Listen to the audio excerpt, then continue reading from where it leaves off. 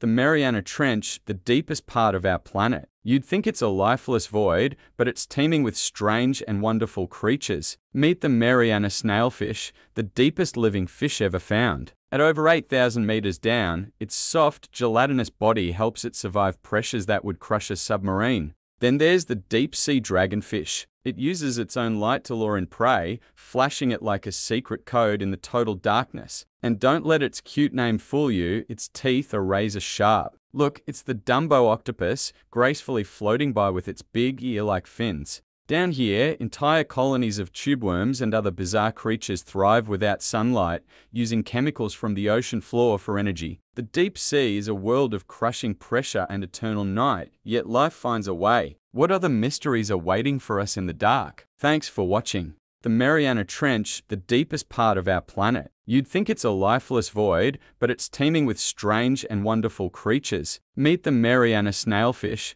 the deepest living fish ever found. At over 8,000 meters down, its soft, gelatinous body helps it survive pressures that would crush a submarine. Then there's the deep sea dragonfish. It uses its own light to lure in prey, flashing it like a secret code in the total darkness. And don't let its cute name fool you, its teeth are razor sharp. Look, it's the Dumbo octopus, gracefully floating by with its big ear-like fins. Down here, entire colonies of tube worms and other bizarre creatures thrive without sunlight, using chemicals from the ocean floor for energy. The deep sea is a world of crushing pressure and eternal night, yet life finds a way. What other mysteries are waiting for us in the dark? Thanks for watching.